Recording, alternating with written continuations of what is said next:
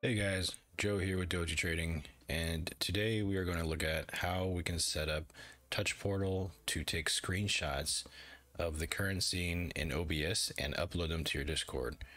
As an added bonus, we will look at in the very end how to set it up so that while in Twitch, if a user uses a special command, they can actually take a screen, um, they can take the screenshot as well of your current scene and go ahead and upload it to the community chat as well. So the end result is going to look like this, where your touch portal is going to essentially give you a button. You're going to be able to click on it. And what it's going to do is it's going to take a picture of the current screen that it's in, and then it's going to go ahead and upload it straight into your Discord. So all that happened automatically. Um, and what we're going to do is just look at that together. Now, I only set this so that I'm alerted when this happens. That's why we didn't hear the little little ding. So, but this is exactly you know in-game result. And you know your channel will have your screenshots in them. All right so this is going to be a little bit longer of a video so we're just going to go ahead and get right to it. First thing you're going to want to do is well definitely going to want to have a channel that you're going to capture your screenshots in but the first thing we want to do is actually get the program set up. And by doing that what we're going to do is come right over here to the web browser and inside of your selected browser your selected web browser go ahead and type discord auto upload. And the very first thing that pops up is going to be the link that we're actually going to go ahead and go towards. Just make sure that tard is x is the user for the github that you're actually going to go into to obtain files from. Go ahead and select go ahead and click on that link come on down over here to where it says binaries. We're getting started. And then right where, you know, it says Linux and Windows, click here. That's exactly what we're going to go ahead and do. Then go ahead and select your operating system, Linux, Mac, or Windows. I'm a Windows user, so I'm going to go ahead and click that. Now, as you can see, this is the fourth one that I've downloaded because my videos have not been very successful. but I'm just trying to make sure that I get it to work for you guys on the first run uh, with the best explanation possible. So once you get this file, go ahead and extract it to your desktop, scan it, of course. Definitely always encourage you to scan, you know, with all of your um, antivirus software. Definitely want to do that. I scanned on mine, came up clean, but then again, I only use Windows Defender, so whoa. But uh, that's that. And once it's extracted, go ahead and locate it. Mine is located right up over here um, next to my examples. And I'm going to go ahead and open it up. Now, when you open it up for the first time, it's probably going to look a little bit different than mine simply because mine's already been pre-configured. But you need this running for the next step to work. So now we're going to go ahead and come back over to the uh, browser. And we're going to go ahead and click right over here. Says localhost 9090. And what that does is it brings up your control file, uh, your config file. And we're going to find this nice little area right over here that says config. And you want to go ahead and click on that. Now we have a few things that we can look at.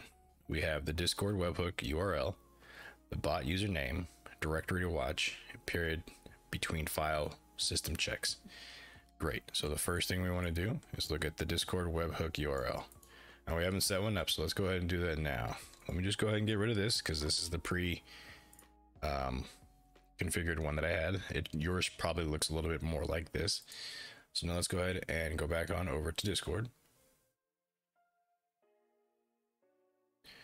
And you're going to go ahead and click up over here on the top of your server. Click on server settings. Come on down to integrations and into webhooks right over here. Now you can see I already have one, but I'm going to go ahead and delete this one so we can start. We can do it together. So I'm going to go ahead and click new webhook. This is going to be called snapshots. That's just what I choose to name it. I'm going to go ahead and click on the channel. I'm going to go ahead and put it into the screenshots.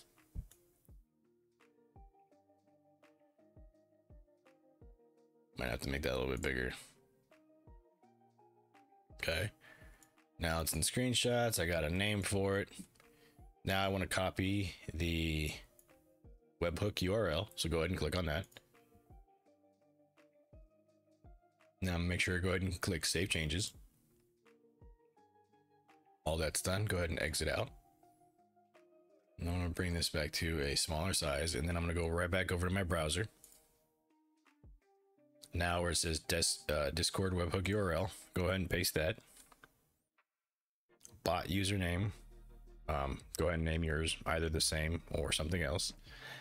And then the directory to watch is where are you going to be placing your files after they get created.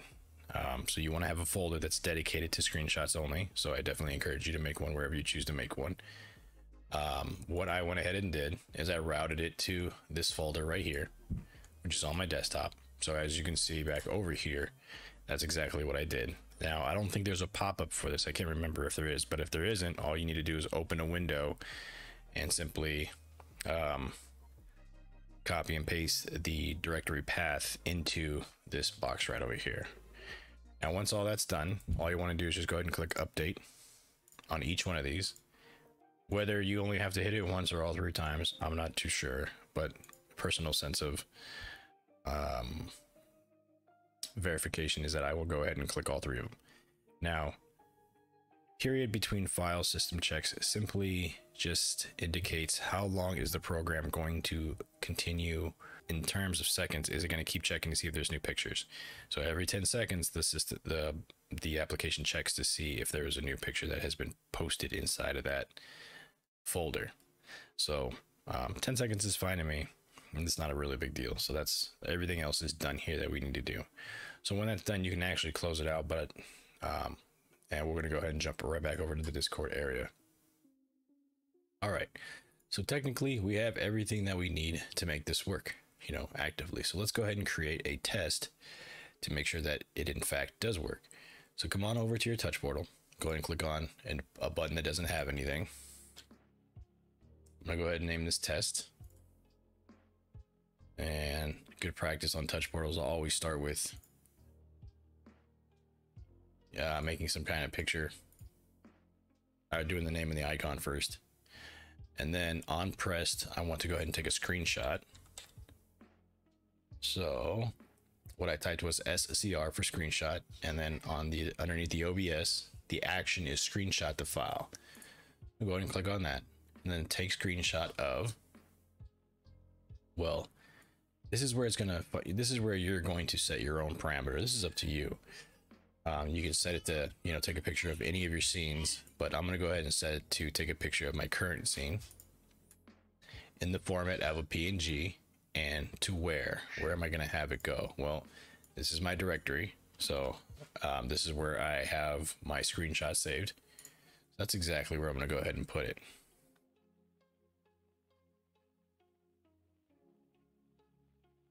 And then um, when that happens, it's gonna so this is this is the directory which it's going to.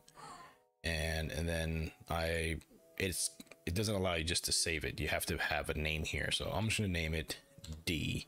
Or for the sake of this one we're i'm gonna go p right? Because it'll be the offset of this letter here. Go and click save. And now you're good. And go ahead and click save one more time. And let's get that set up right over here. All right so because I used a screenshot earlier, I'm just gonna go ahead and delete it. It's nice and clean. And then what I'm gonna do on the board is go ahead and Alt and left click on it to go ahead and test test it right now. So I went ahead and Alt and left clicked and there looks like the folder got a picture in it. And then it looks like we actually got the um, snapshot uploaded. So we know that the so we know that touch portal is is taking the screenshot properly, it's putting it in a folder, and then the program is going ahead and uploading it to Discord. So congratulations on part number one. I mean, a lot of people can start here, and you know, if, if this is all you're looking for, that's great. But now, if you want to go ahead and you know integrate this with Twitch, go ahead and stay continued because that's what we're going to do next. So now, what we're going to do is just go ahead and open this code back up, and then go on to the on event. Come over here to Twitch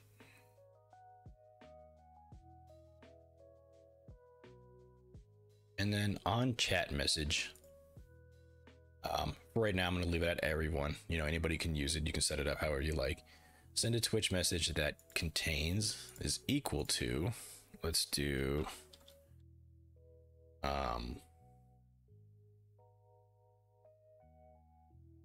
I'm just gonna go ahead and put picture simply because I already used screenshot on my other one. So we're gonna use picture. And then what I wanna do is go ahead and copy this. Go ahead and paste it because I needed to take a screenshot.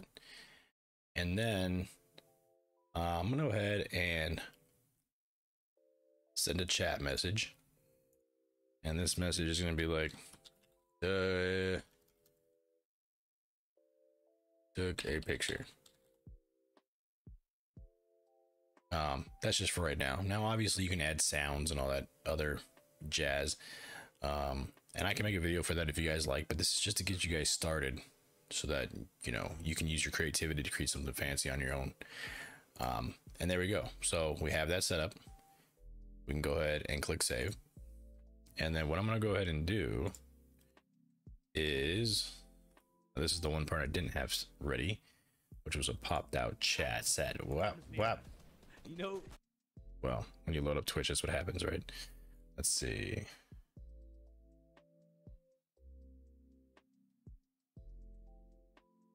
Okay, so I went ahead and popped out uh, my Twitch chat, which is right here. And then what I'm gonna go ahead and type, it's picture, right? Because that should be the that should be what what the the thing was. So one slap that in there, the picture, took a picture, and then we're gonna go ahead and see if we get the upload.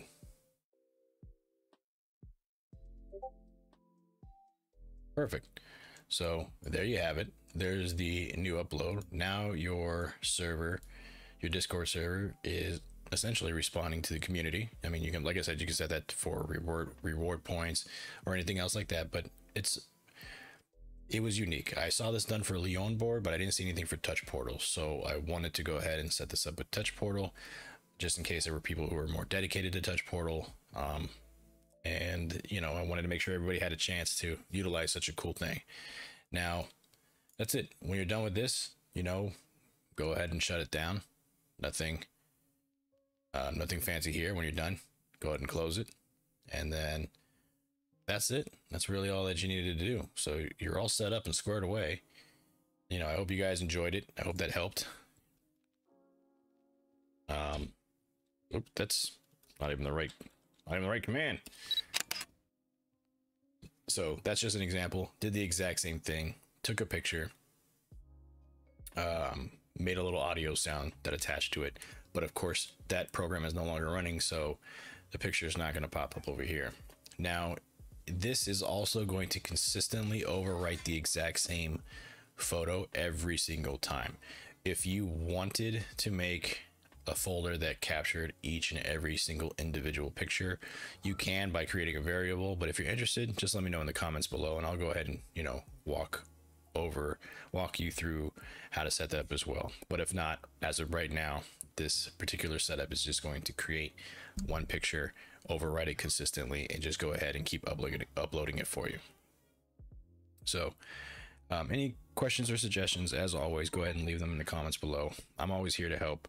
I thank everybody for watching my videos. And until next time, this is Joe with Doji Trading. Stay safe out there, and I'll see you when I see you.